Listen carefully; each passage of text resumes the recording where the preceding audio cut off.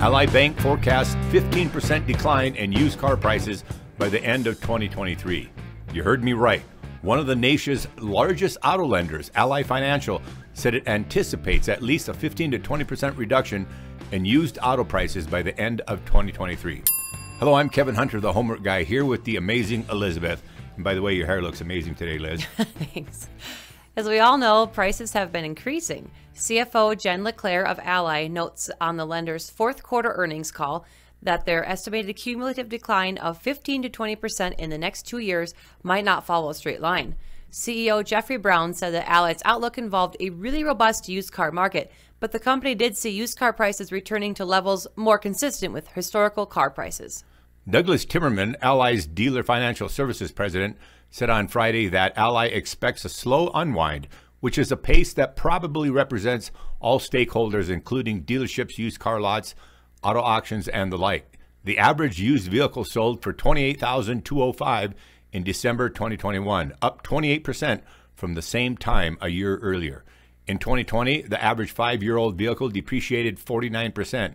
In 2021, the average five year old vehicle depreciated just 40%. And in terms of supply, both Brown and LaClair described incremental increased vehicle inventory at car dealers. Relief is trickling in. Brown said, We're seeing some very modest uptick in inventory levels. Ally's commercial auto lending balances, a major component of which is floor plan borrowing to dealers, grew for the first time in five quarters to $16.1 billion. This was driven by a 15% rebound quarter over quarter in the industry inventory, a modest but increasing trend we predicted for later this year, according to LaClair. However, inventory remains still 70% below pre pandemic levels. So here's the major takeaway and why all of this information is so important. I know many of you have been waiting to make a car purchase. Unfortunately, the time to buy a used car is not now and not soon. Ally Financial, as we mentioned in the beginning, is one of the industry's largest lenders for dealers for their floor plan needs and to consumers for auto financing. There are plenty of people that don't necessarily agree with Ally's prediction based on their experience in the car business. But it's not experience in the car business that gives you a good understanding of where things are at right now because there is no history influenced by a pandemic. Sure. It's the actual data that matters, and Ally has it. There's another important point in this information. If you already bought a car or are planning to buy one this year, you should plan on losing an accelerated amount of its book value in just 12 months. A 20% decline is a very big deal and will ruin some of you financially, sadly. You'll be car poor and stuck in a bad car deal. This is so true.